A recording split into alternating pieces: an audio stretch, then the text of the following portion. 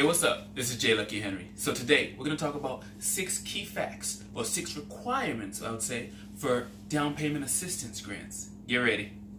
They ask me how I know it'll be okay. This is J. Lucky Henry, Keller Williams agent in the greater Boston area, and I want to help everyone get real.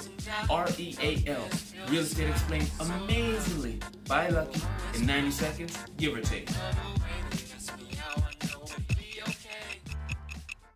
Welcome back. It's J. Lucky Henry. So today we're talking about down payment assistance grants and we're talking about the six key facts or the six requirements. So, number one, right, is the actual sales price of the house, right? And these are not in any particular order. These are just six things that you got to worry about when you're getting down payment assistance for a grant. Is the sales price of the house. It can't cost too much. It's got to be within a certain price range, right?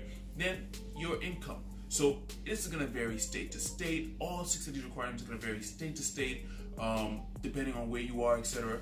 But the income that you make can't also be too high. Now, what's the right amount? You got to check with your local guidelines. Places you can find this are the HUD website, right, and the Department of Housing. So after your income, your credit score.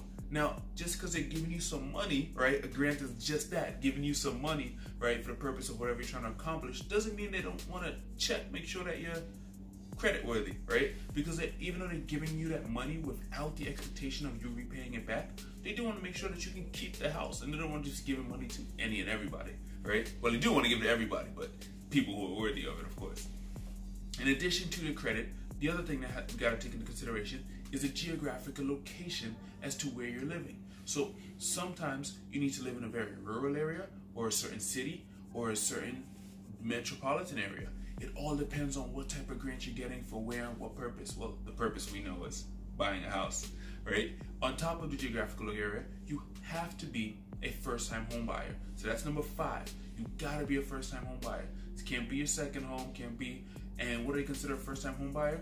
It's there's gonna be something that's gonna be your number six, your primary residence. So sometimes you might have bought a house a long, long time ago and you're like, hey, technically, you know, I've been renting for 20 years. I'm basically a first-time home buyer. Check your check your local laws on how they deal, how they classify that. But you gotta be a first-time home buyer, which is number five. And number six, it's gotta be a primary residence. You gotta live there majority of the time.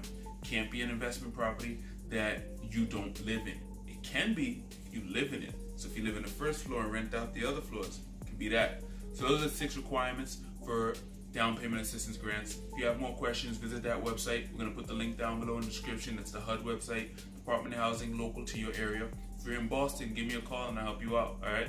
It's been real. It's been 90. Gotta go. We'll be back tomorrow with another video. This is J Lucky Henry, and I'm here to keep it real with you. Whether you're looking to buy, sell, or invest in real estate, call or text 978 712 0244 and make sure you subscribe to my channel for more.